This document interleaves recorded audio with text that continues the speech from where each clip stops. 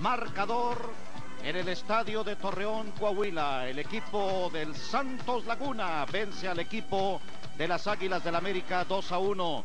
Aquí está el gol del equipo del América con este gran salto de amarilla que en un remate de cabeza, centro enviado por Sague por la punta de la derecha, se alza estupendamente para clavar exactamente en el ángulo y dejar al arquero sin oportunidad. Aquí está el centro de Sague alto, por eso Amarilla hace todo el esfuerzo y mete este tremendo salto para un remate frontal.